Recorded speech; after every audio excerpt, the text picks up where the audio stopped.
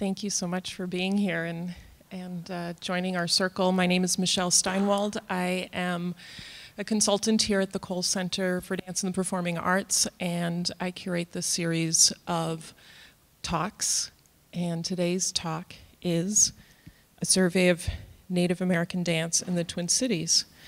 This is part 11, and the other parts have all been documented and you'll see them up on the wall, the maps, and there's a whole pile of maps on the back table, along with some treats. But first, I wanted to uh, pass the microphone to Janice Bad Moccasin, who will welcome us.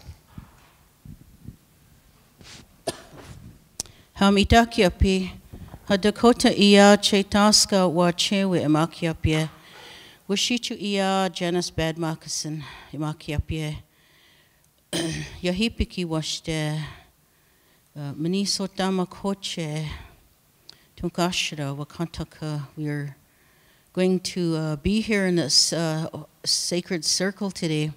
But before I offer the prayer today, um, I'd like to say a special prayer with our mani waka our water, um, our water of life, um, the source of our lives.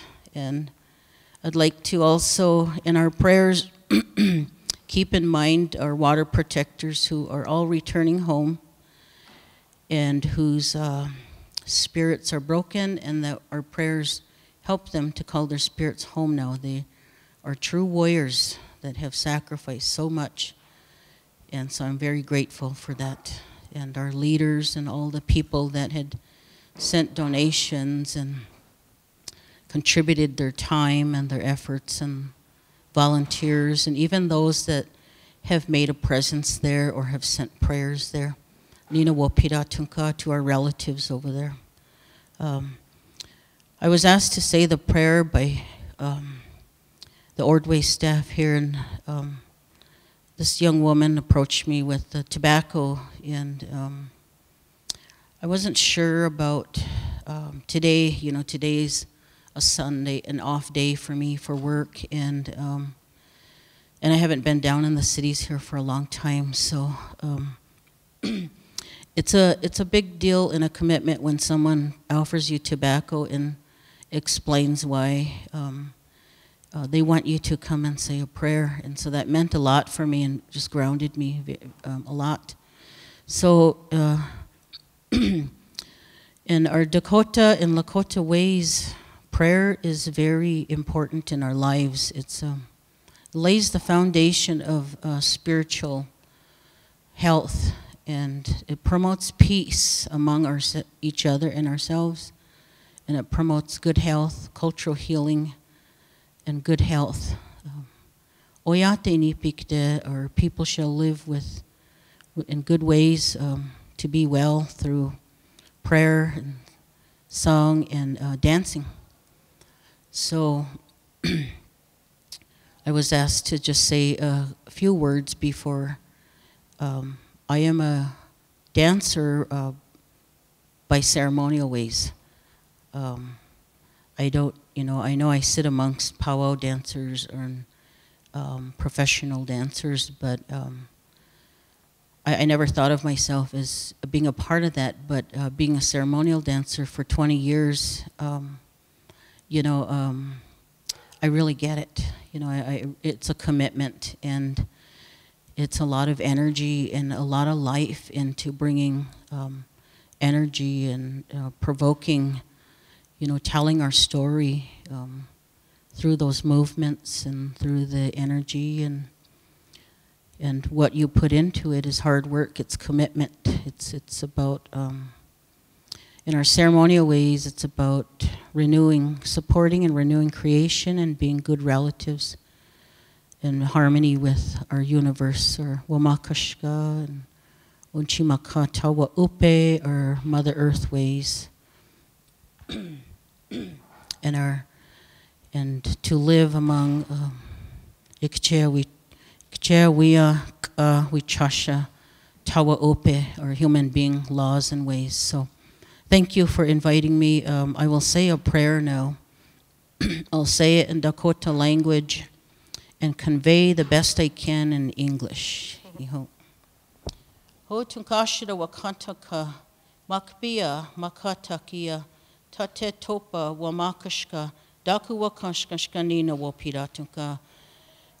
ka we chozani tunkashira wa kantaka. Hami taku ye obwani kde che chuaki aye tunkashira wa kantaka. Wo pira tunka. Ho chunkata na wajie. Tunkashira wa kantaka wo wa kaki henani tawa. Tunkashira wa kantaka nina wo pira tunka wo chekye, wo chekye. Wo taku ye dena dawashte. Am petu kinde washte. Tunkashira wa kantaka. Meta oyatiki te wahida. I said, Wakataka, creator above and Mother Earth and all things below, and all the directions in life, four directions above, below, us the seventh. I said we pray here as human being relatives in a good way to bring presence of our thoughts and ideas and to share and to learn and to bridge good things together in a prayerful way. and I said that our relatives here receive blessings today. Mitakuye oyasi, all my relatives.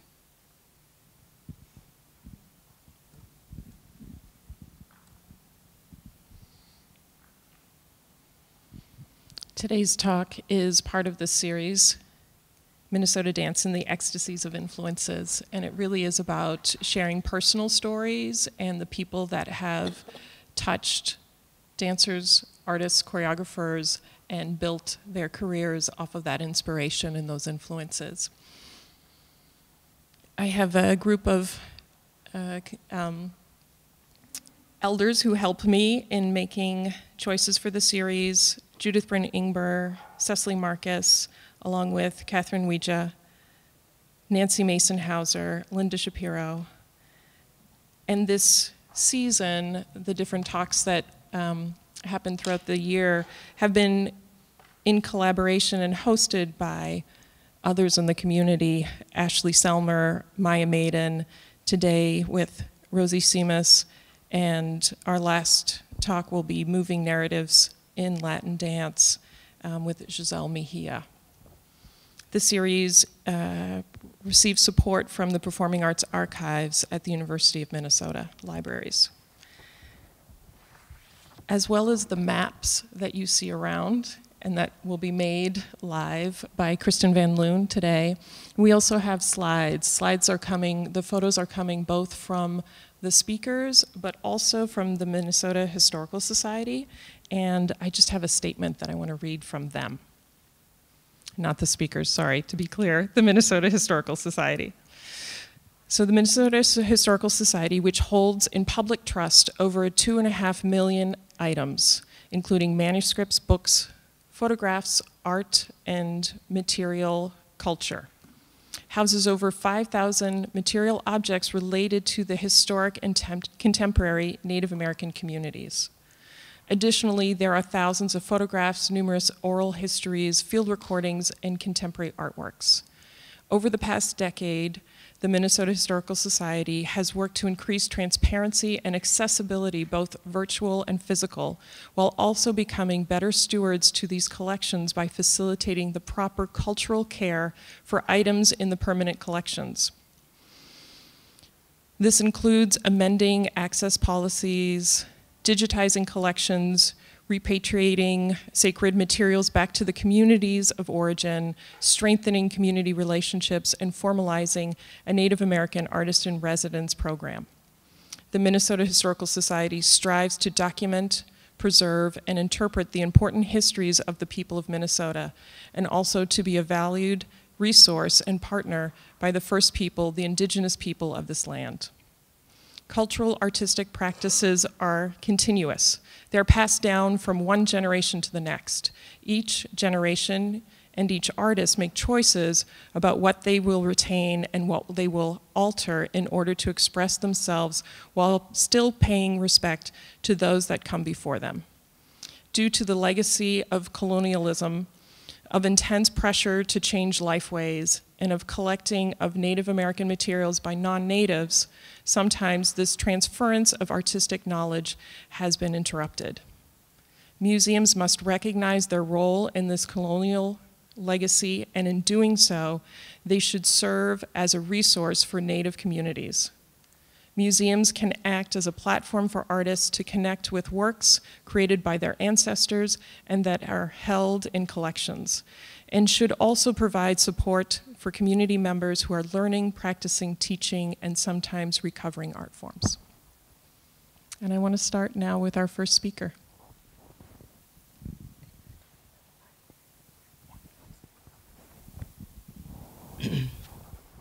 Au mitaki api. Chante washteu nape pi. Si changu la kota he mataha. Chokata na jiwia. La kota mia.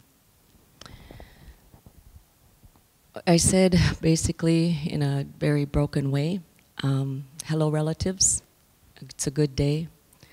The older I get, the more I understand the importance of understanding our relationship as relatives, which is why we're taught to say that as a greeting whenever we're um, gathered.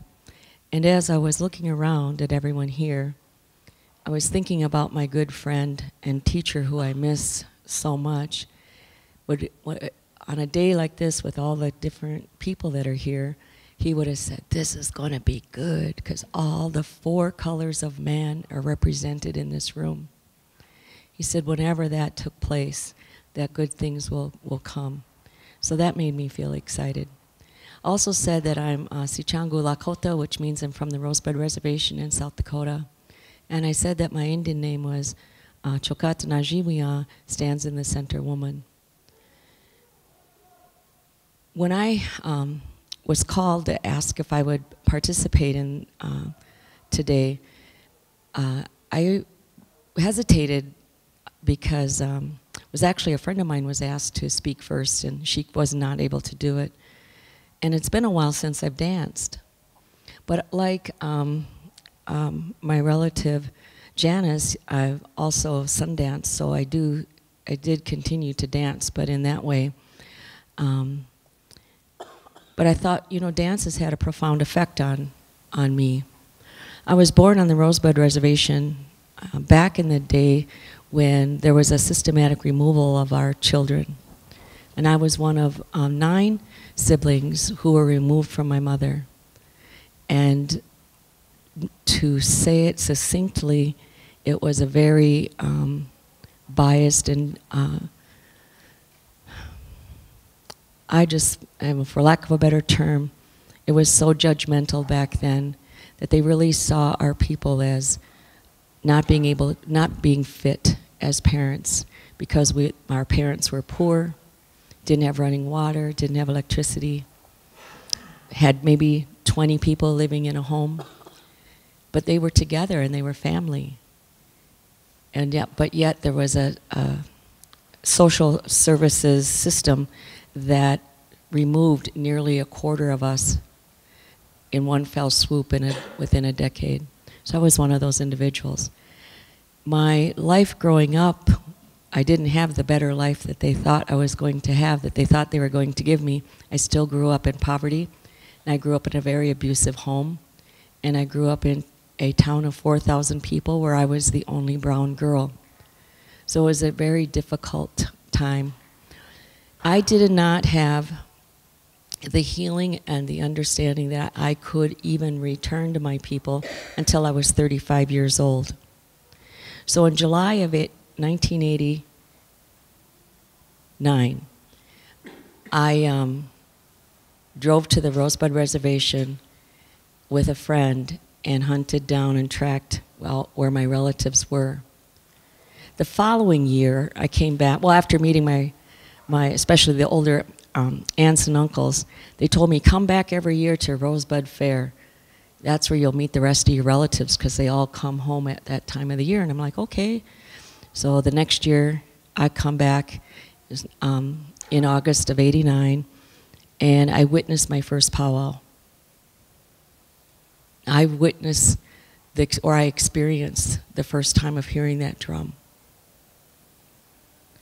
And I, where I was sitting and watching the grand entry, I was like this explosion and implosion of emotions, of anger, sadness, hysteria. I mean, all over. The, I was just all over the place.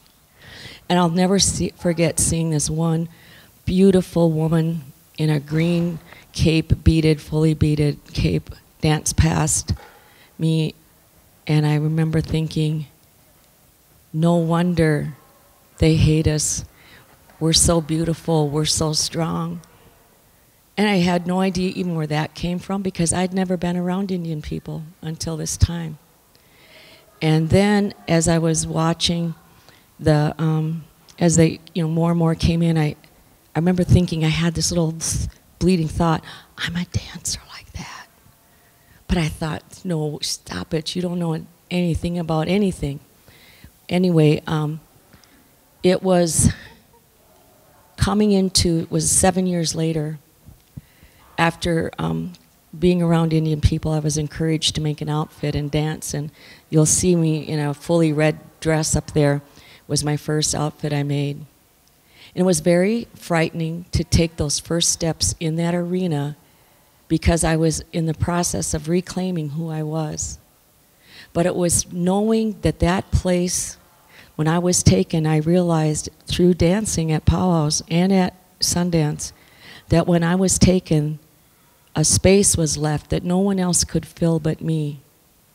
And once I was able to, through the encouragement of those who knew my story, their compassion and pushing me, gently nudging me, that I was finally able to take my place. So, so many things about dance, beautiful competition, um, all kinds of things. And yet, there's a foundation in that arena that's a spiritual one. And um, I'm just grateful that the prayers of my ancestors were so strong that they brought me back. Thank you.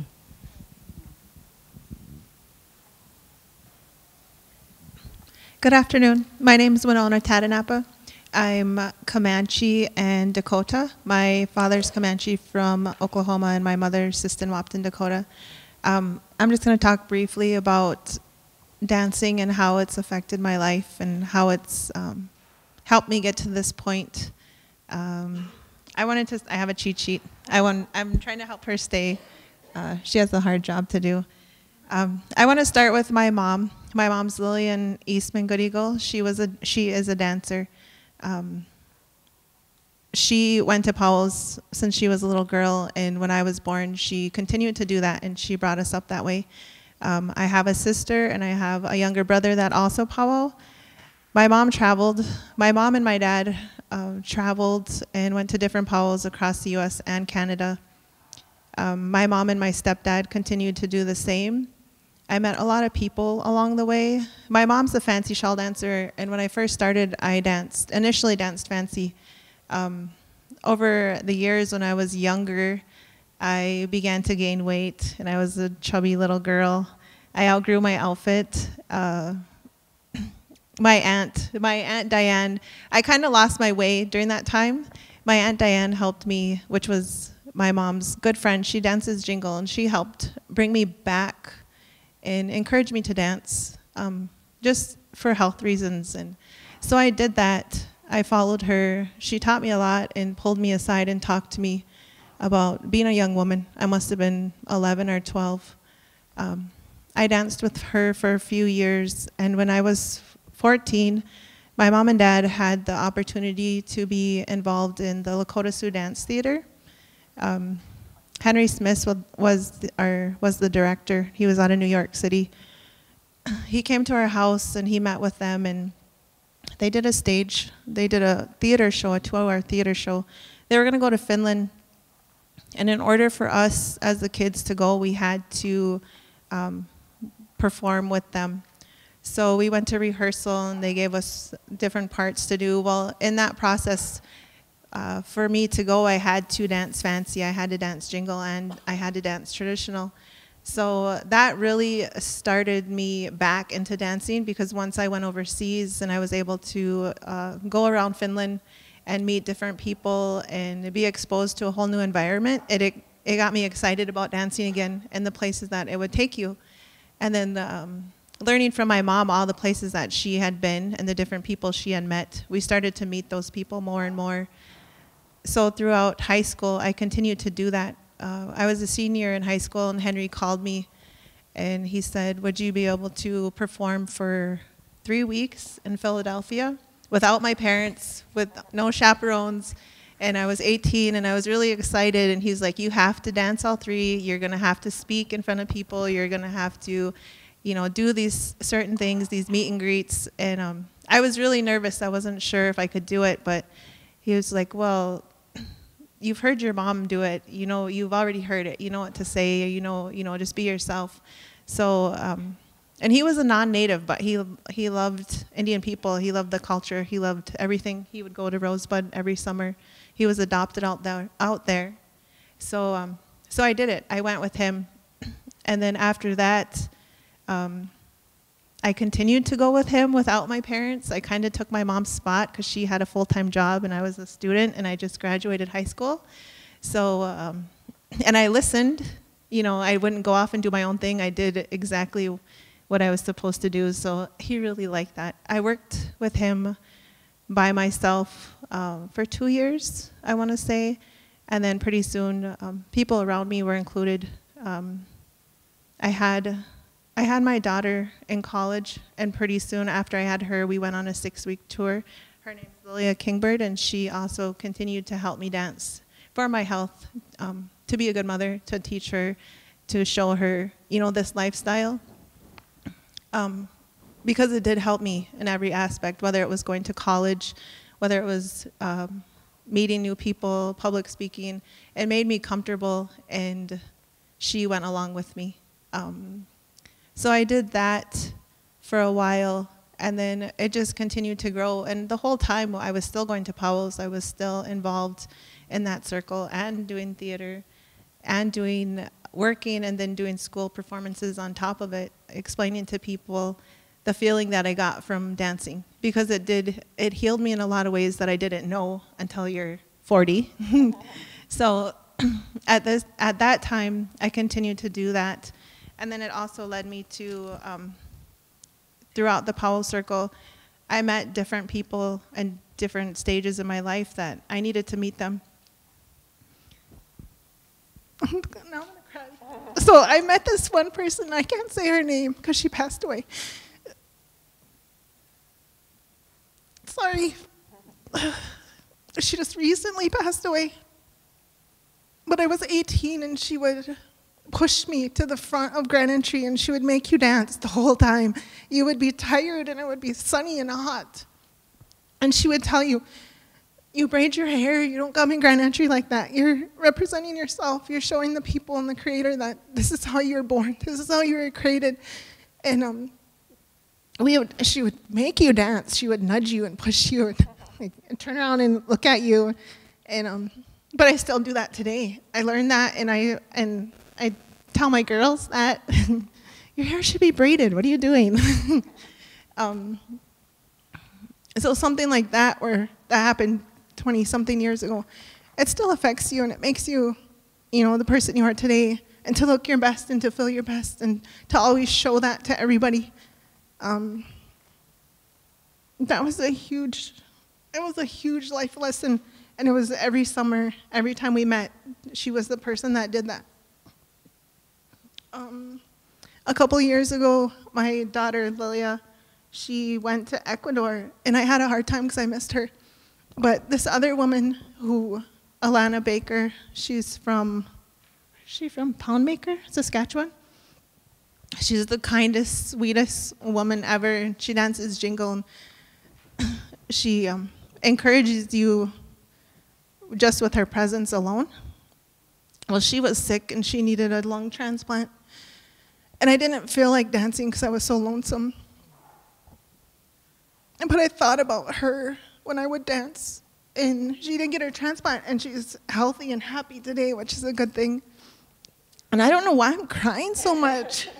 I'm usually like the happy, like, whoa, let's go, this is gonna be exciting, which I am excited. I'm excited you guys are all here. Um, so yeah, through through that, I was able to push through missing my daughter, and she came home, and Alana got healthy, and she's doing good today, and my daughter's back, and she's doing better today, um, and I just kept dancing. I have two other children. I have three children, and then this one. this one found me. um, so I just continued to do that, and then I moved here. Well, this this throughout this whole time, there's been one consistent person that no matter where I go and whatever I do, he can randomly show up. And he also encourages me, like whether it's running or taking care of your body, your fitness, your spirituality. Um, Emmett Eastman. He's also my grandpa. Um, it's my mom's dad. He's 85, and he could, you never know, he might walk through the door. Um, and that's the exciting part. You never know where you're going to see him at, or where he's going to show up, or who he's going to be with.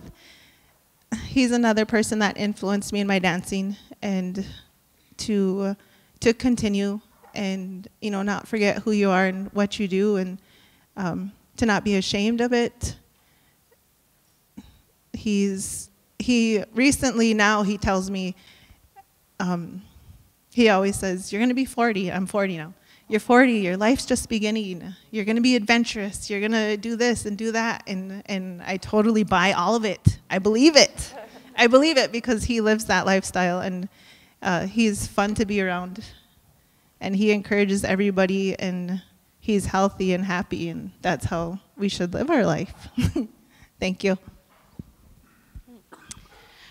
Boozhoo, Ikwe indigenous cause Makwan and Duda.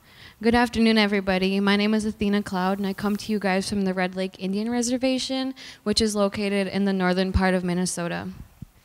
Um, so I'm really excited to have been asked to come and speak at this lecture series. Um, and, and, and share with you guys uh, my experiences thus far, especially because I am a young Native American woman. Um, I'm 20 years old, and I was born and raised in um, a, my community, what we call Obashing, but um, in English it's called Ponemah. And so on the Red Lake Reservation, it is um, the only community that still practices um, our language and our traditions and our ceremonies every day um, as compared to the other communities on our reservation. So um, what really inspired me to dance and what kept me going um, thus far, especially with um, how life can be unexpected, is my family. Um, growing up, I was very privileged to have been raised in a family that still practiced our traditions and our ceremonies. Um, my family, we, we put on our, um, our sweat lodges and our drum ceremonies throughout our community. And my elders in my family have always been the elders for the community that um, that the one that would always give guidance. They always knew what to say. And as a young Native American woman, um, I kind of had a it was just confused. I didn't know who I was as an individual yet. Like I was going through um, my years of um, maturing into the young woman that I am today, and it was just it was tough growing up on the reservation, um, seeing a lot of my friends um, fall victims of suicide or drug use or, or to our um, justice system, and it was tough. And so I was faced with having like to decide, do I want to be like everyone here and just stay here and not live up to my true potential, or do I want to go out into the world and see what there is to offer and what I can take on as an individual? And so through powwows, I was able to travel all across the United States and Canada and share my style of dance. Um, I dance the jingle, uh, jingle dress style. Um, I've been dancing at the powwows um, ever since I learned how to walk, and I, you know, I credit that to my family with um, having been raised in a family that still practices um, our teachings that have been passed down from generation to generation. And so with powwow dancing, it gave me a strong sense of identity of who I am. And that's what I carry with me today. And that's how I carry myself, especially in a society that's dominated by the Western culture. I mean, when I dance, um, even when you know I'm out in my street clothes, like I always have a sense of who I am because of powwows taught me who I am. Um, and I went through a lot. Um, and I had one best friend. We met at a powwow, and we were running around, and our moms, like we were playing tag, like we're little kids playing at the powwow. And it was a contest powwow, and like our moms come screaming at us out of nowhere while we're playing, and they're like, "Wait, you need to get ready! You need to get ready! You're in a tiebreaker!" And like we're in juniors, and we're like, "What? We're in a tiebreaker?" And then here it was like both of us um, ended up dancing against each other. And so we've pretty much like been inseparable ever since. Um, her name is Lilia Kingbird. So. and so that's how I found Winona and Jason. And um, my family, they weren't really like the big powwow people. They just stayed more connected to like staying in Red Lake in Minnesota, not really traveling. And so thankfully, Winona and her family um, took me under their wing for the summers and they would let me travel with them. And um, so, of course, like I've known her since I was probably 12 or not even 12, 10. So over a decade now. Um, and, you know, she's, she's helped me become the woman I am today because I had to grow, I had to learn um, from my own mistakes. But um, and thankfully, like powwows helped me outlet a lot of my emotions, especially as a young female. You know, I'm going through changes in my life. I'm trying to figure out my place in this world, and um, powwows have really helped me do that. And I have so many friends, and I've had so many wonderful opportunities thanks to powwows and honestly like i couldn't imagine who i would be without powwows because powwows like i live for powwows but i also live for um, other aspects of my life especially education um, and it's just a way for me to like no, no matter what circumstances or or experiences that i'm going through at that time i know i can always fall back on dancing at the powwows to let all of my emotions that I hold inside um, be expressed freely. And like it's part of, um, I don't know, I would say it really helps me with my mental health, especially. Um, it really helps clear my mind and um, my life of the negativity because we believe as Native people that powwows, you know, they bring positivity. And um, yeah, thank you guys so much.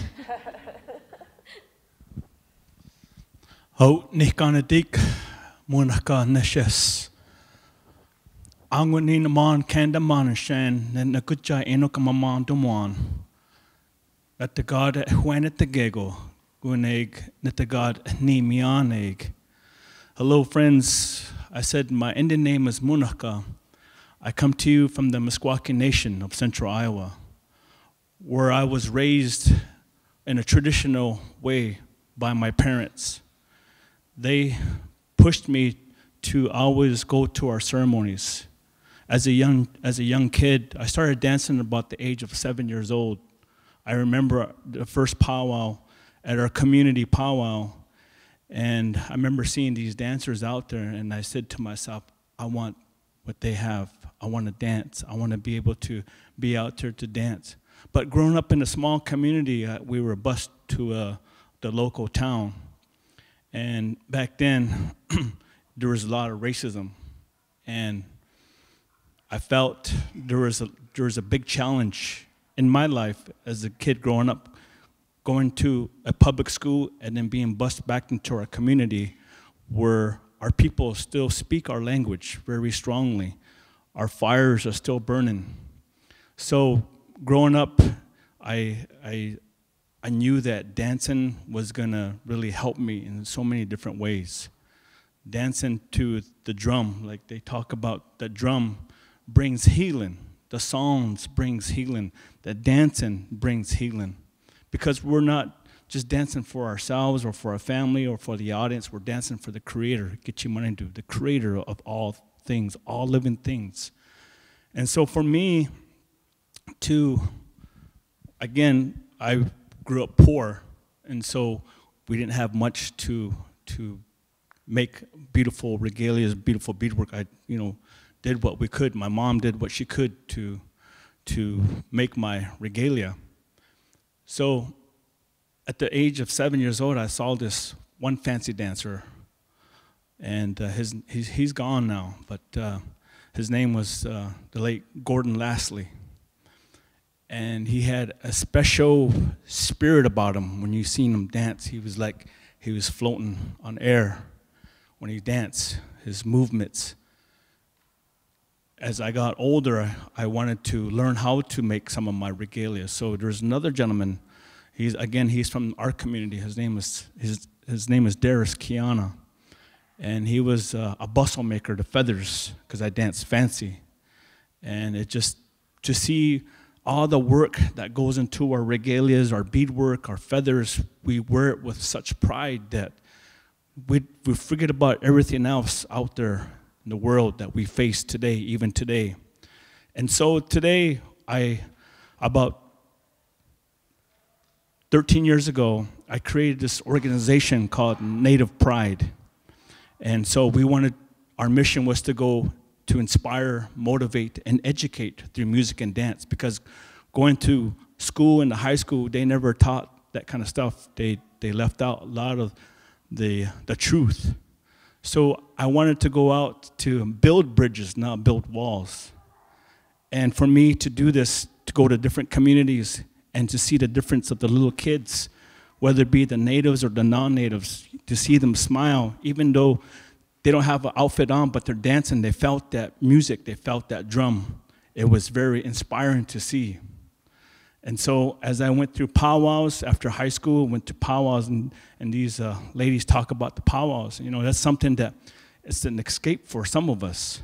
And we have champion dancers here in the audience. I want to thank uh, the Fiddler family. You know, they're they, they've been very inspiration to a lot of people today. Our, our MCs, they're very educational about what we, what we need to know as a non-native. Maybe some of you have never been to a powwow, but sometimes when you hear the, the, the prayer, the prayer just brings something special to your heart. And to hear the education of what's out there that we need to learn, that we need to let the, the non natives know about who we are.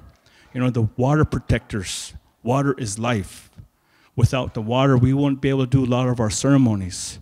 And so today, when I go back home, I can't wait to go by my fire and feel the presence of the Creator, of the old teachings they say. You know, I remember as a young kid, my, my, my mission, my grandpa, he would say, one day we're gonna, you're gonna have to buy that water. And I said, that's foolish. But today, you know, there's so many changes going on in our world. There's so many things happening. There's a, there's a movement going on. What happened in Standing Rock, it's, it's not just for us as Indian people, it's for everybody to come together as one. And because with that, there are so many changes that I want to do in my life to help bring more awareness to the people, to the indigenous people. And so, with that, we go all over. I've traveled to many different parts of the United States and different parts of the world, from Brazil to Australia to France, just to be there to different countries and to see their faces and to educate them because they see us in a different way through what they call the Hollywood lens. And there's a stereotype that they put on us. So the stereotype is we're not all just wearing feathers and dancing. We're, we're more than that. We are who we are, and we raise the young children to, to grow up and to be strong, and not to be ashamed of who we are as Indian people, because that's what I had to go through going through high school. So this is who I am today. I'm a grandfather. I have three grandchildren, and I'm 50, and this is what dance has done for me. Dancing is something that makes you strong, makes you forget about everything. Like these girls said, when you dance, you dance with pride, you dance with dignity. And this is something that I've always wanted to bring to the other people. And so this is something who I am today. Thank you. Manu. Um, Henche, Nyaweskano, Lamhimiko, Ninkanson, Ananawaga, Gaweno, Again. Uh.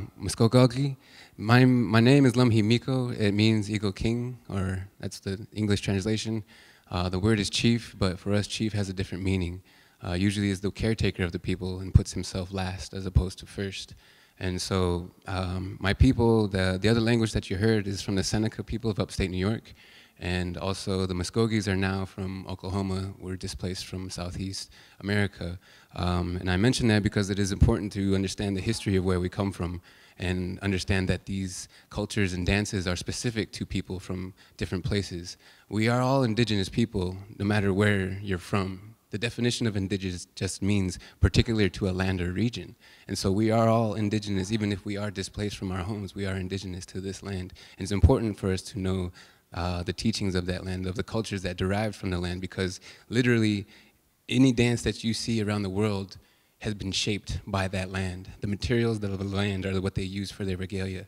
Uh, the actions that they make are imitating things that they see in their environment. All of these things are derived out of the land, and so that respect for um, the earth itself is really rooted in the indigenous cultures and dances. Um, for me, uh, dancing started in the womb. Um, my mother was a dancer, of course, and um, she carried me throughout her period, or her time, her gestation period, as they call it. Um, but she was inevitably dancing, so that spirit was instilled within me. Now, we all had that same rhythm as well. It's called a heartbeat. And that heartbeat is something that is re-emulated through our dances and our drums. All cultures in the world have drums in part of their song and dance, which is an interesting thing.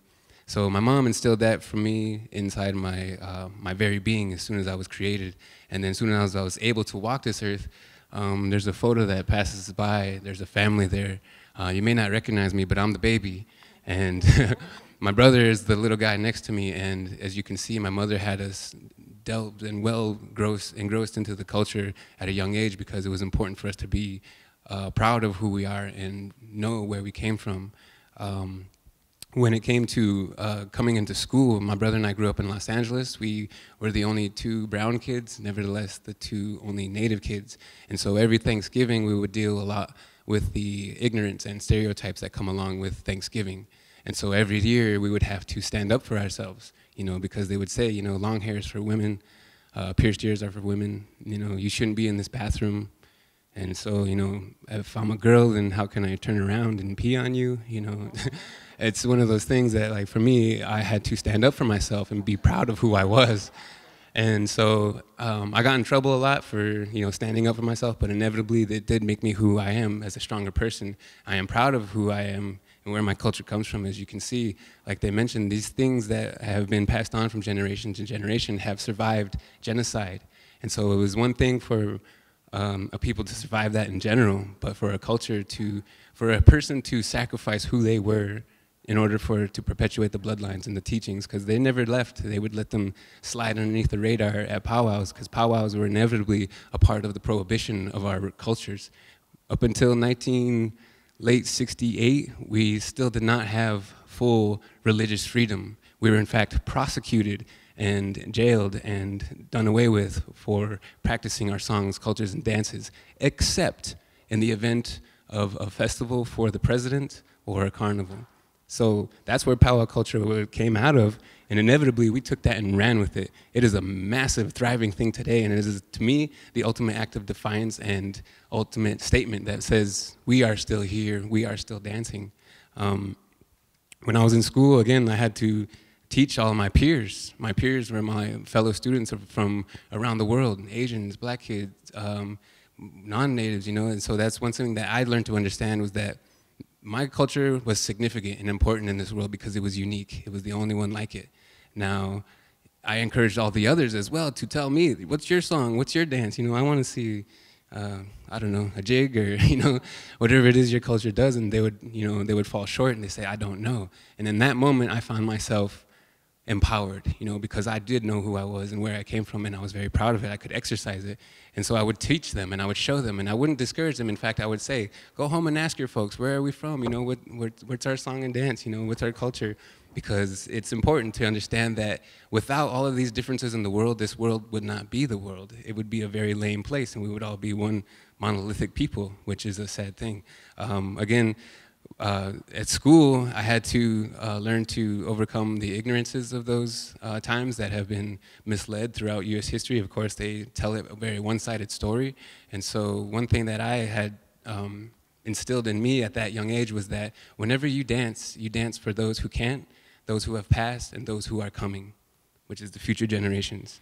And you keep in mind those in the past because, again, they sacrificed so much for you to be here. You are representing them as well in that moment. And so, and the other part of that was for those who can't dance. Now, it struck a weird chord with me at that time because some of my peers, my student peers, were actually wheelchair bound and paraplegics. And so I told my mom, I said, I feel bad for um, oh, by the way, um, my primary, primary dance, I'm a dancer first and foremost, please respect that, but I highlight myself as a hoop dancer. And now hoop dancing is a very acrobatic, you know, very um, uh, exciting thing to watch. And so what I, I felt terrible, you know, I'm pretty much doing cartwheels and, you know, handstands and things in front of these people who are bound to a wheelchair. And I said, Mom, I feel bad, I shouldn't, I shouldn't be doing this. And she says, she says, Take a look at their faces when you get done dancing and tell me what you see. And in that moment, I realized that even though they couldn't dance, my excitement, my feeling of joy, of freedom, was being provoked within them. They felt that same emotion, that happiness, that joy. So in those moments when I was struggling with uh, social anxieties, dealing with depression, dealing with uh, so many other things, you know, I forgot all of that in that moment when I'm free, when I'm dancing. And then for them, I unlocked that as well. They were not bound to a wheelchair. Their, their minds were expansive. They were ever growing. They were always excited. And so I learned right in that moment that that was actually not only healing for me, but it was healing for them as well. Um, so I carried that on throughout, you know, every single school I went through, every single Thanksgiving I had to have an assembly and tell them what was what and what isn't, you know, because apparently all 565 plus tribes of North America were boiled down to one image, and I was responsible for representing that, which was impossible. It'd be like trying to represent all of Europe with one statement. You know, it's it's impossible. And so I, throughout high school, even you know into my latter years, I would still maintain this uh, this stigma of you know you are from somewhere too. You know, it's important for us to understand that. And so we are all products of our environment. As I said, our culture is derived from you know the things that we see and, and hear. And so my inspirations are drawn from all over the place. And first and foremost, my mother, because she was a dancer and not just uh, traditional powwow style, but she enjoyed delving into other styles as well. And we grew up in Los Angeles, so we got to witness a lot. It was a melting pot. There was African dances, Asian dances, you know, dances from Europe, all over Europe, and then different cultures and songs and foods, and it was beautiful. And I learned to understand the importance of my culture as well in that moment. And when we got to high school, again, I'm a kid, you know, we have technology, we have televisions and stuff, and so my inspirations came from strange places, um, like cartoons. Um, Elmer Fudd, Bugs Bunny, Daffy Duck, these guys all dance on those cartoons, and when I would dance, I would try to emulate that, you know, and like we would see people like Michael Jackson or James Brown on TV, you know, and I would try to emulate that as well or incorporate into my movements as inevitably we are our product of our environment. And I cannot deny the fact that I've seen those things, those moves, and so now that they are just incorporated into my style as it were, that's part of who I am. And even beyond that, my mother had a style, um, in sports, you know, and such, you know, different things, but uh, one of them being uh, Taekwondo, martial arts. Uh, the discipline, the routines, the um, body training, all of these things were instilled in me from those type of things, and I could appreciate that and drive it into other things as well. Uh, even beyond that, um, there's of course breakdancing was a crazy thing I was seeing that it was it was cool. I wanted to do that, just as Larry said. There are other people out there. You wanted to try what they were doing. You wanted to do what they were doing, and so that was my inspiration.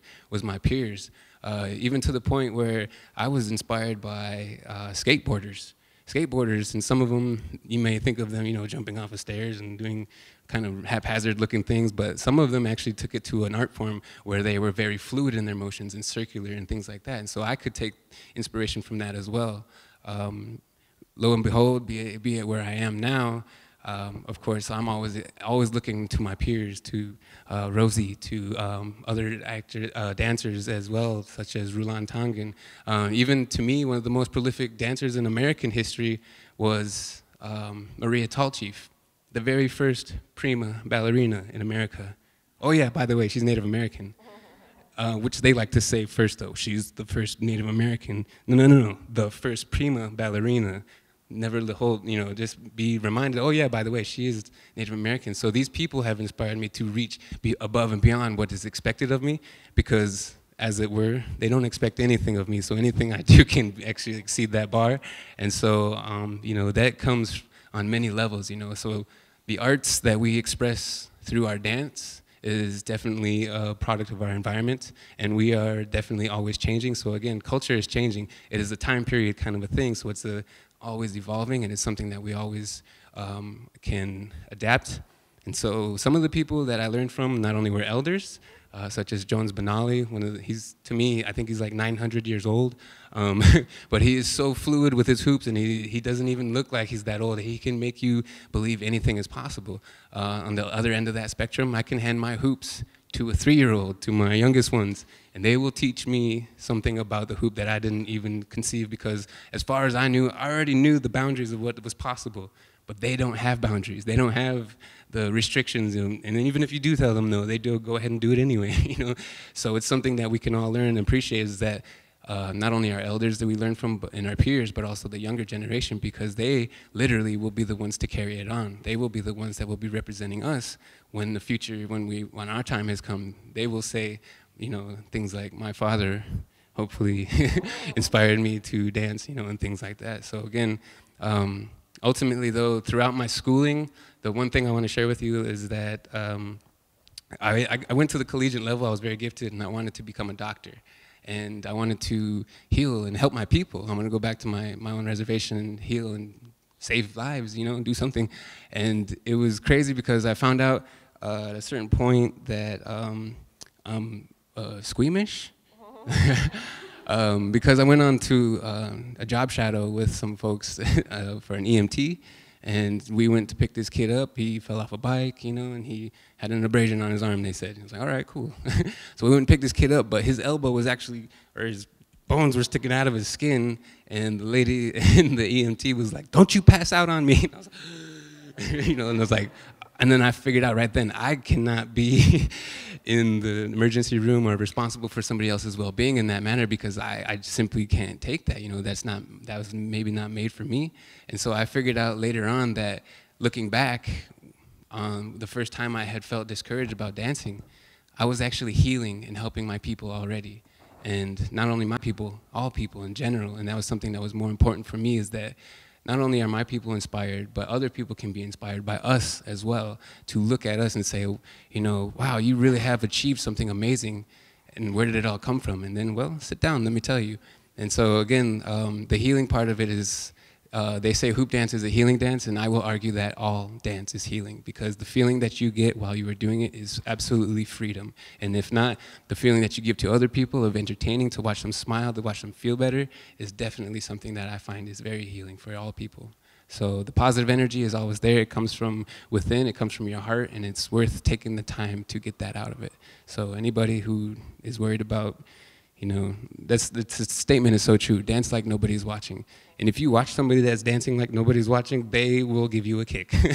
so keep that in mind, and I'm, I encourage you all to explore your own roots and indigeneity. So thank you.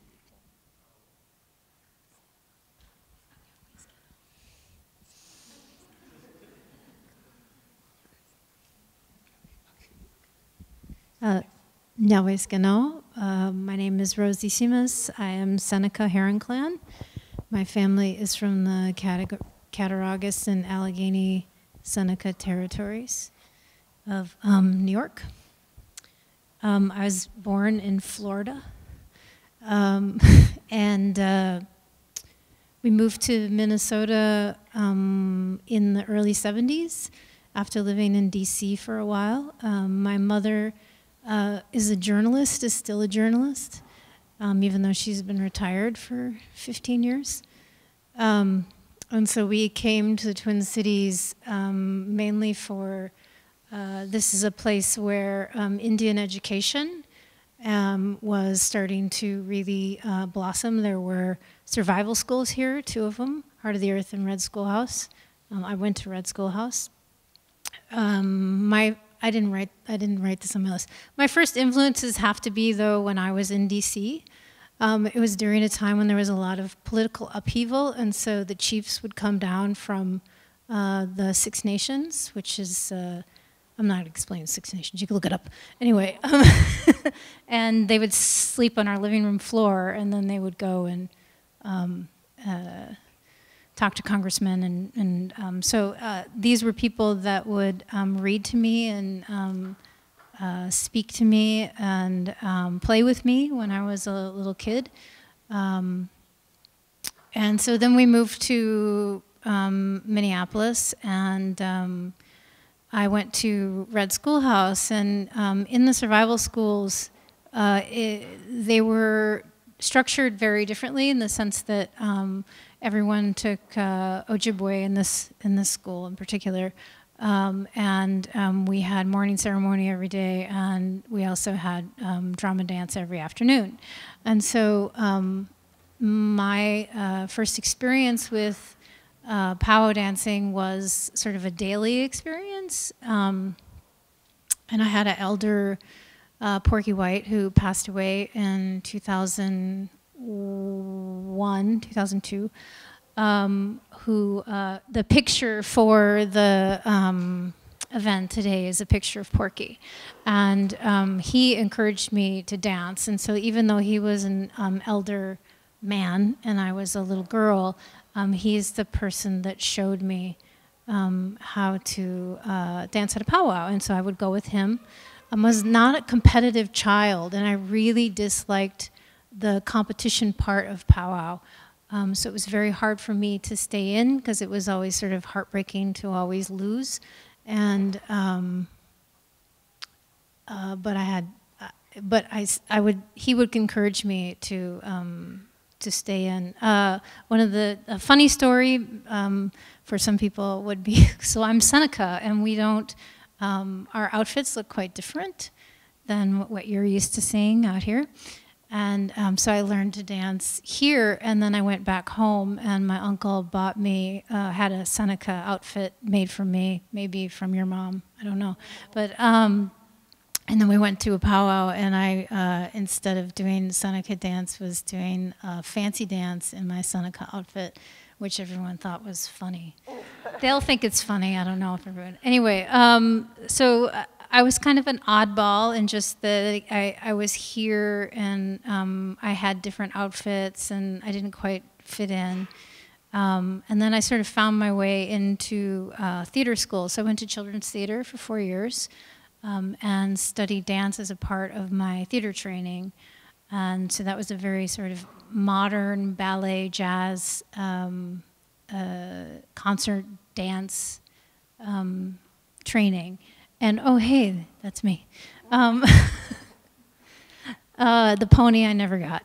Anyway, um, and so, uh, but um, right around the same time, I took an improvisation dance class from a woman named Rella Dean. I didn't put that on my list, sorry.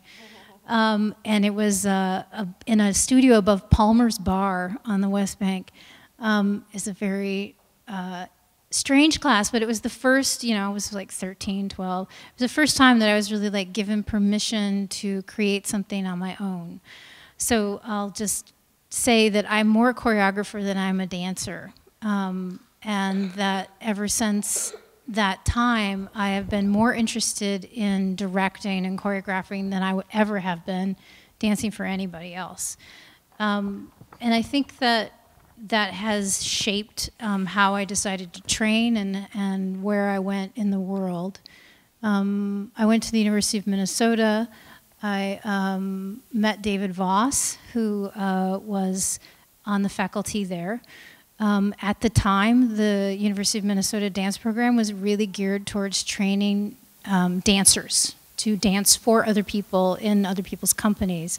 And there really wasn't very much encouragement at all in um, the realm of choreography, and David was the only one that taught a composition class. And so um, I got to take composition a couple times, and then I took it like three more times, the same exact class. And then David started designing independent studies for me um, to be able to make my own work. And so while I was in college, I produced two shows of my own um, here in this building. Um, I left there and went to uh, New York. This was my second time moving back to New York City. and met Barbara Mahler and Susan Klein. Um, I'm trying to follow my list a little bit. Um, Barbara Mahler uh, is still my teacher, has been for 25 years. Um, and the thing about Barbara and Susan and, and their technique, um, Klein technique, is that um, it really is about the individual and about finding what your body can do, your own individual body, um, and using that to sort of get the um, most power uh, um, from your body, um, both physically and spiritually, if you're paying attention. Um, let's see, who's next on my list? and then I got, I got to. Uh, um, meet a second elder um, who is not on my list either. Sorry, Kristen. Um, Madeline Moose, and I worked with her.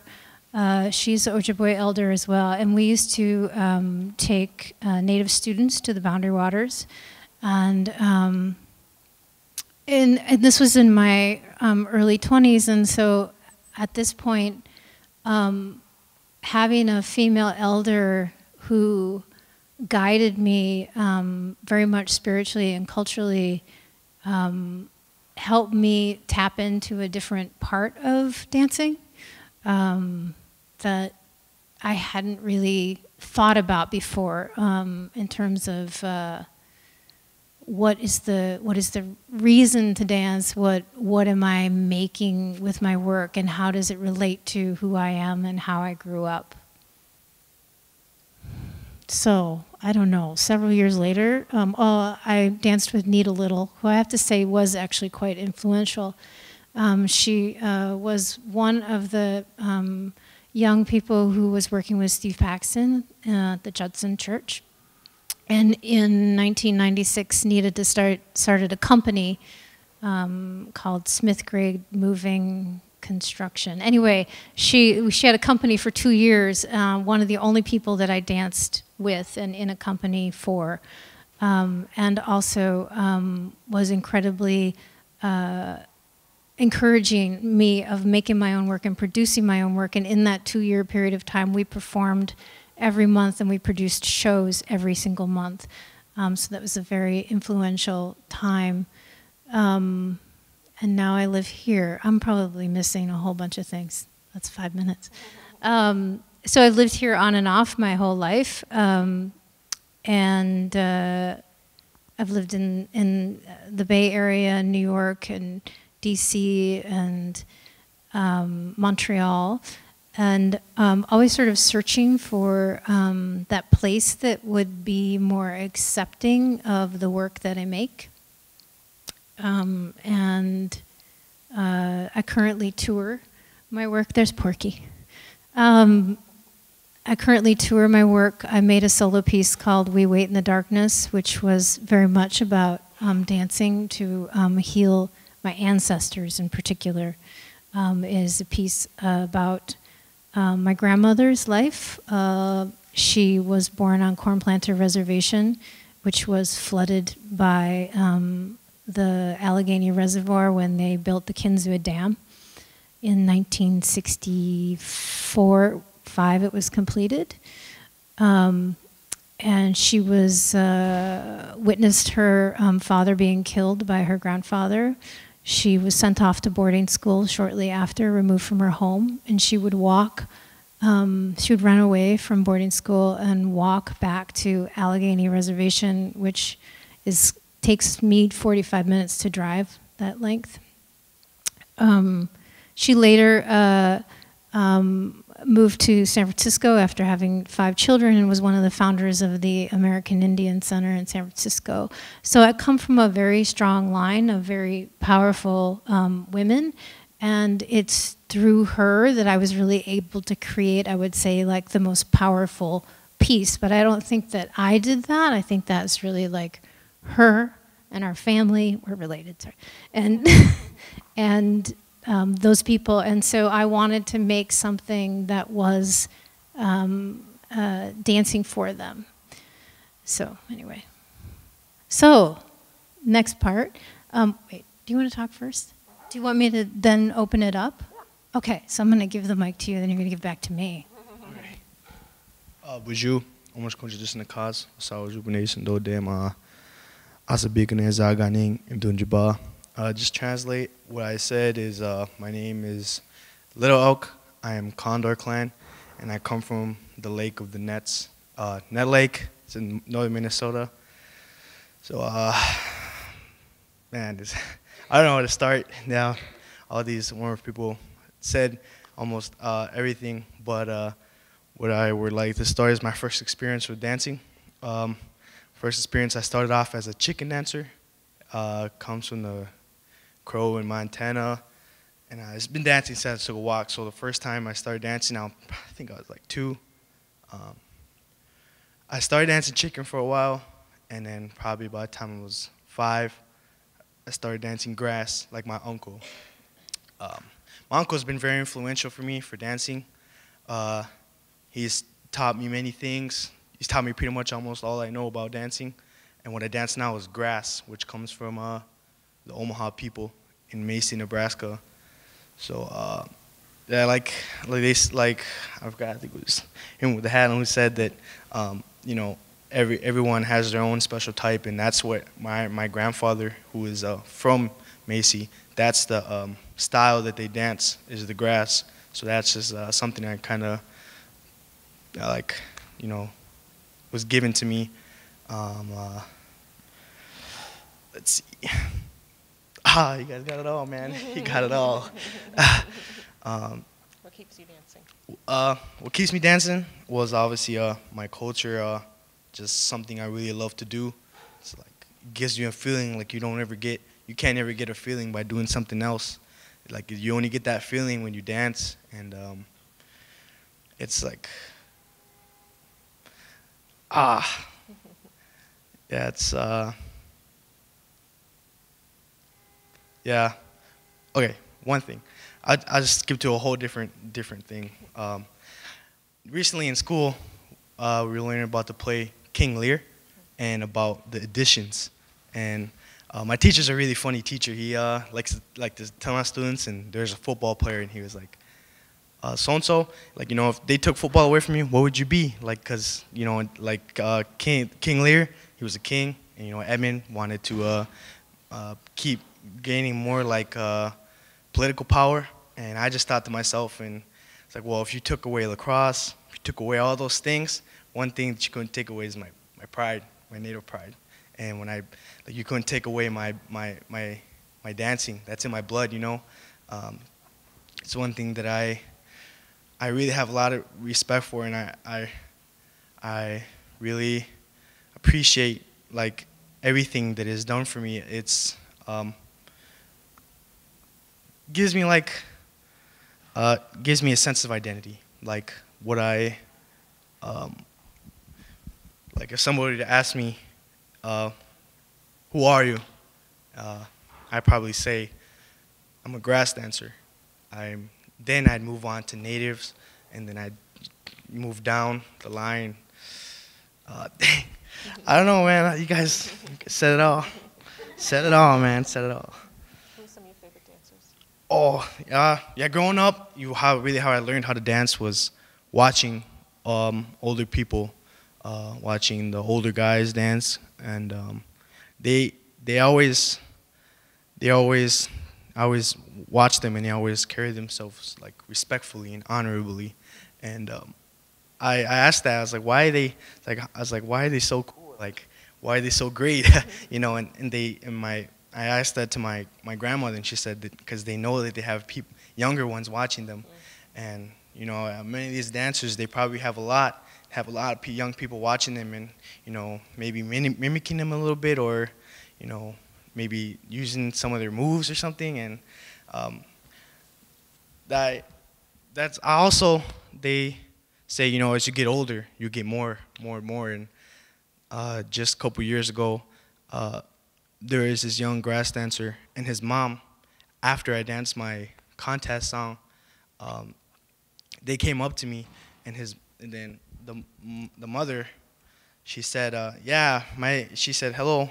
I said hello, how are you? How are, okay, my, my said my son, my son's watching you and he likes the way you dance, and he just wanted to come and meet you, and I, that really made me, that really made me feel good inside. You know, it made me really feel that I'm doing a good thing, that I should always appreciate. And, and I said hello, and I met him, and we were just talking about dancing, talking about dancing until it was for his time to dance. And I was like, go dance, and I'll watch you dance. And I was watching him, and I was like, oh, he really was watching. He's using my moves. it's my move.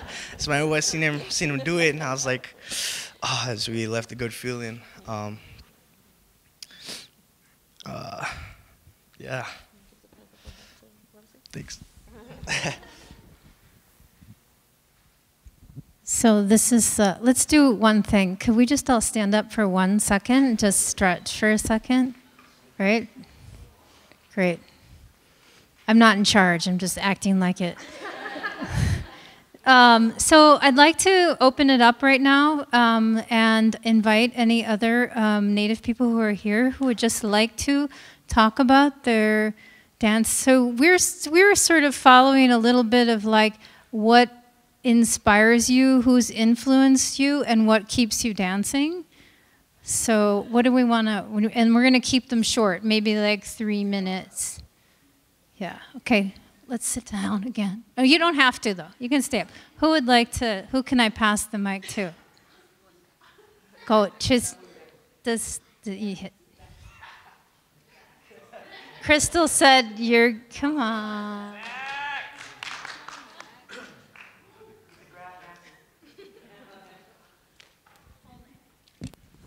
Hi, my name is Zachariah Redbear. Um, um, I'm a Lakota, Hunkpapa Lakota from uh, River Sioux tribe of, uh, out of Eagle Butte, South Dakota. Um, I wasn't planning on saying something, but uh, but I'm a dancer. Um, I come a long ways. Uh, I can say that now, I guess. But um, I come a long ways. Uh, from uh, South Dakota. I moved here when I was three years old um, with my family from uh, from over there. So we're all over here, and um, I grew up over here in Minneapolis and the Twin Cities, and um, I didn't know pretty much anything where I was coming to, but from outside the reservation and what I remembered when I was a little kid growing up. Um, so I came here to Minneapolis, you know, was, was a little, little guy, didn't start school yet. Um, uh, but I got put in, I went to a, a, Native American school over here in Minneapolis, uh, down by the U of M. Um, it's called the Earth Survival School. Um, back in 96, that's when I started kindergarten over there. And I actually ended up finishing 12th grade over there in um, 06, 07. Um, started going to school over here in uh, MCTC. But um, when I was going to Heart of the Earth school there, uh, I started uh, learning um, the culture, the, um, the Sioux and uh, Ojibwe culture classes. So I started that when I was kindergarten. So they had the teachers there. Um,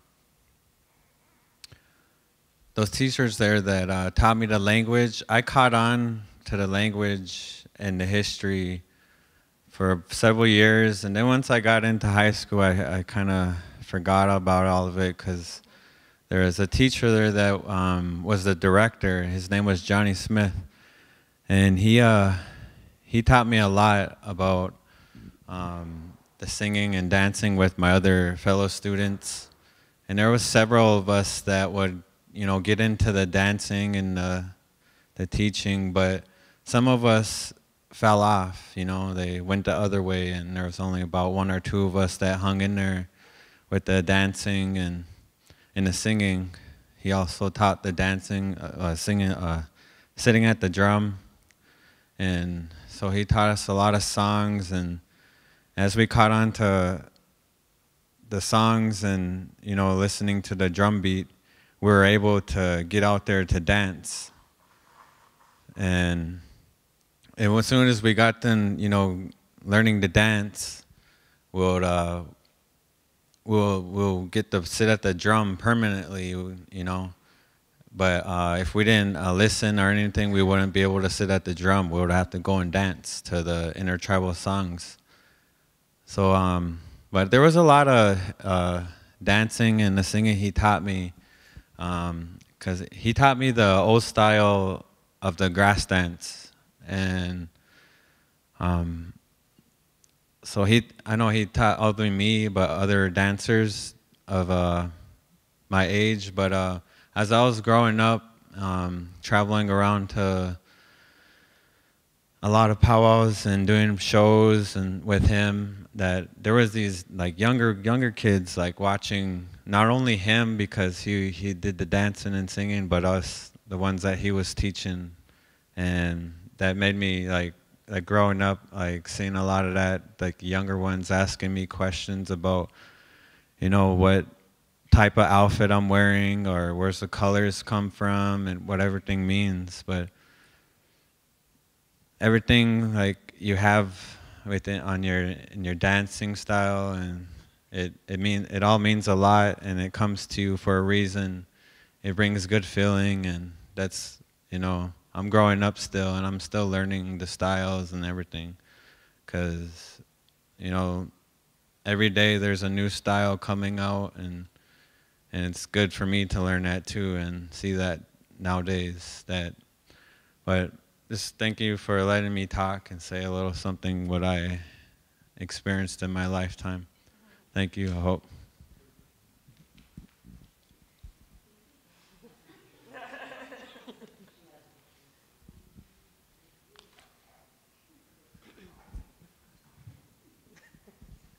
Hi, my name is Alva Fiddler. I'm from uh, Butte, South Dakota. I'm Minneconjou Lakota. And um, I have real bad social anxiety. and when I have my outfit on, I don't. I could probably talk, tell you my life story, tell her life story too. But it's, um, but dancing is, uh, I consider it my first love. So, uh, no matter what's going on in my life, if I'm out there dancing, I, I forget about everything. It's, it's just my happy place. And, and I grew up doing it. And uh, I've been able to dance since I could walk. And I uh, pass that on to my kid, too. And I come from uh, generations of dancers. And when they let us powwow again back in the 1940s, 50s, my uh, great grandparents, they danced, they traveled. They would ride horses to go to gatherings and so my dad picked up from his his grandparents and then he my grandma and then it passed on to me and now my son and uh, it it's um I was just influenced by my family and all them. I looked up to all them, Nona and Larry Yazzie. I've known them my whole lives because we all danced together travel the country, and uh, my son does it. And I try to get him to dance as much as, as much as me, but he's all about school. So, I mean, that's a good thing. I went to Florida like two weeks ago. I was like, come on, let's go to Florida. Let's go dance down there, dance with alligators. He said, no, I don't want to miss school. I'm like, whose kid are you? but uh, yeah, so, and I grew up with Zach, and it just it, it brought a lot of us Native tribes together, and I'm I'm proud to be Lakota and be able to dance and share our culture with everybody and our stories with y'all. Thank you.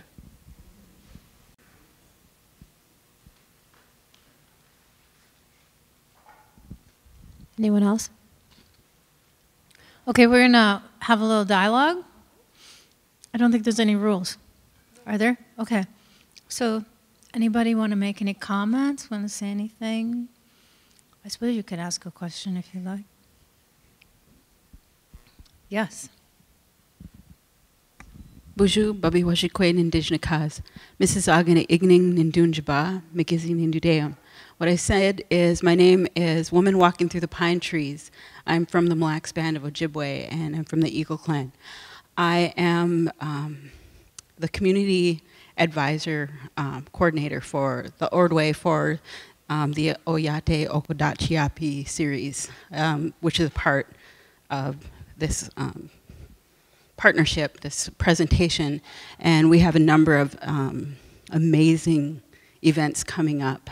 And what I also want to say is I manage Larry Yazzie. Some of our dancers are here, and I'm also um, the manager of Native Pride Productions. Uh, we'll also have some shows in the upcoming Flint Hills Children's Festival. Uh, there's just so many, many different opportunities for you to come in and just experience this glimpse of what you've seen of Native American dance. Um, our, our art is so powerful and so beautiful, and the way we present brings all of us together. Don't you all feel like a connection or some sort of understanding of who Native American artists are? Yes? And so I just want to thank you from the bottom of my heart for coming and taking time out of your lives. I think you're a bunch of students, right? Yes. What school are you from? But uh, thank you for coming. Thank you, um, whoever your professor is, for asking you to come here. So it's thank you for doing that because whenever I see um, students, you are our future. And the more you can learn and understand and open your hearts to other cultures, the better off our, our country will be, the better off our people will be. And um, I'm just very honored to be a part of this. And I just want to say th thank you to Rosy and Michèle. Um, Miigwech. I wanted, am I, yes, I'm on. Okay. Um, the first time I met Larry, I was mesmerized by his dancing, and I asked how I could go to a class, and he he discouraged me. But but he he did encourage he did encourage me to go to powwows, and I think it's is it powwow.com? Is that possible? Yeah. So, um, uh, what would it be like for a non-native to attend a powwow? Non-native people are welcome to come and participate in our powwows. There's a time that we even invite you to come out and dance, and it's during the what's called an intertribal. Uh, Larry spoke about that. There's an MC, and that's when they. Um, you, if you listen to the MC, you'll hear uh, it's intertribal, and they try to encourage you to come out. And one of the times I really encourage people, non-native people, is um, right right at the very uh, end of our grand entry. We have a veteran song, and that's really when um, I like to see our non-native relatives come out and dance if they are veterans, or if their um, relative uh, is a veteran as well. Um, and then there's other. Th I would not advise anyone to make an outfit that's not native and come and dance. I'm just going to put that out there now, because there are people that feel that they're moved to do that, and um, you don't need to do that to enjoy the drum and to be part of that celebration that we have. Stay who you are, and um, in fact, one of the things that we used to do at the powwow, I used to um, uh, coordinate a powwow for a college, and the town had a large Hispanic, um, so there were Azteca dancers, and we used to invite them to come in and into our grand entry. And then the following, the one year I thought about it, then I had to, I was no longer at that job, but there was a large Hmong fam, uh, Hmong population as well, and um, they have their dance, and so uh, we wanted to encourage all of our relatives who danced. And uh, one last thing, a woman in Madison had a dream where all um, these drums from the different cultures came together and people uh, sang uh, on their drum and dancers were there.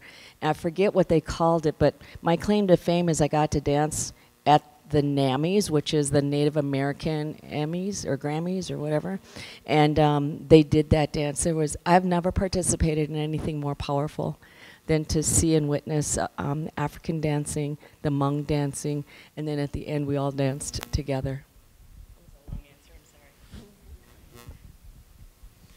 Uh, I just want to say, yeah, uh, about non-natives, um, it's actually kind of uh, kind of like cool to see that because uh, I went to powwow in Fort Duchesne, Utah, and uh, down south there's a really big Hispanic population, so it was really nice to see, um, you know, see like people of Hispanic descent, and uh, I'm half Mexican, so I um, grew up in this uh, Spanish immersion school, uh, so it's it's kind of cool because kind of for me to show my my I have dual culture, I can um, relate to both, and to see them there at the powwow and they they they came they come or they came to me and they wanted to take a picture and you know I kind of surprised them that like if you could see the look on their face when I started speaking Spanish to them, they're like whoa like oh okay and you know kind of feels like makes them uh, a little more comfortable, but uh,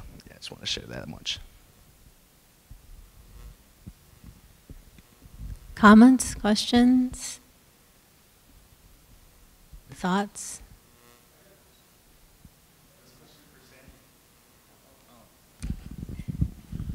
So you said you went to your first powwow later in life, and so like, I, I'm like almost the same way. I went to my first powwow when I was like 15 years old. Did you ever ask any like really stupid questions? Oh yes, yes, yes, Like yes. what?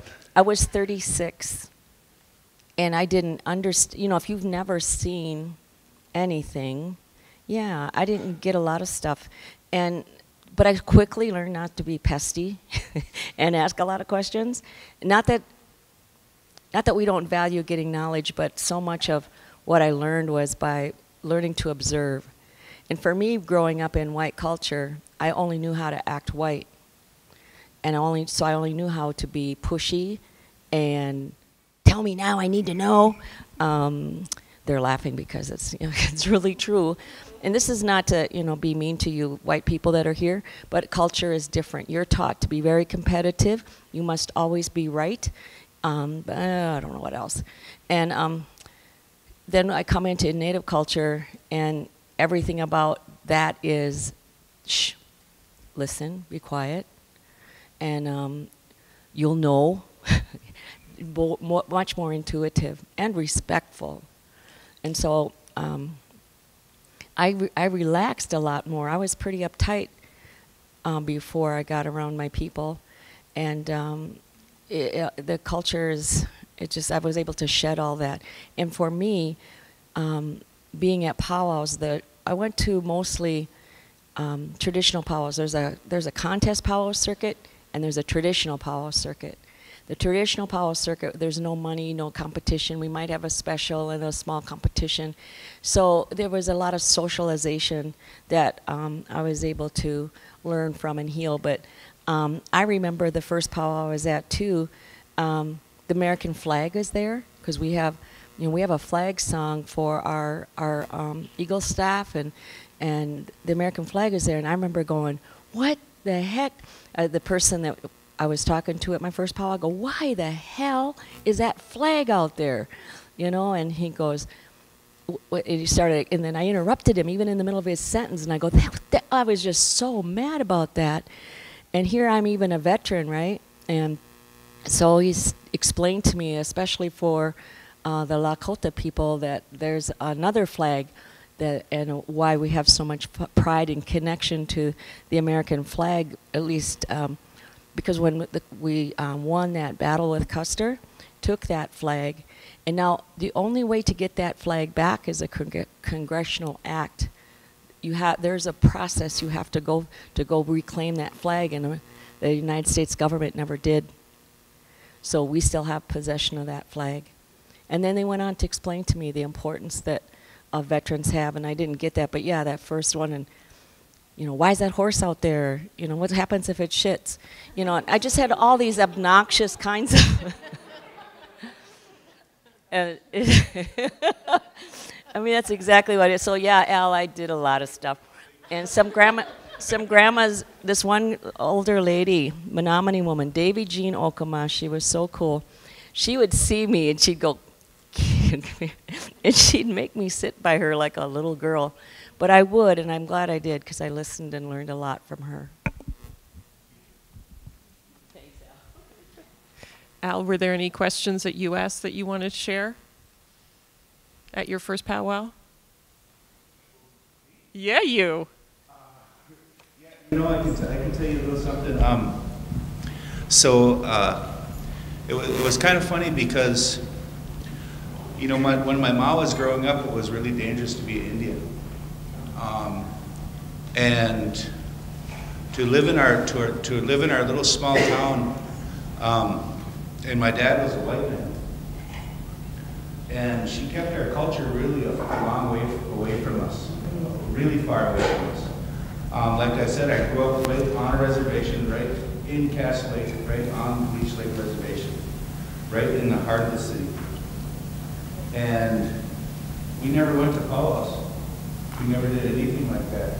And so when I got back from going to that powwow, it was kind of funny because my, my, my brother started giving me a hard time. My sister started giving me a hard time about going to this powwow. Oh, you better be careful. You're going to get your little white butt kicked. Oh, you're going to, and, and this and that. And after I got back from the powwow, it almost seemed like um, they were looking at me sort of like a reverie, you know, and it was like, wow, you made it back, you know, and so it was it was kind of fun like that. You know? Um, my my older sisters, my, my older sisters and my older brother were my half half brother and half sisters, but they were they're like 13, 16 Indian. I'm I'm more like I'm more like 8 16s. I'm like 7 16s. I'm not even like barely half. And so um, they were always really protective of me. Um, it was always really a, a, it was a town where you walk, walk through the town, if you didn't have a partner with you, you're, you're probably going to get bullied. And so, um, so it was kind of, kind of cool that they kind of looked at me a little bit of a reverie after I got back.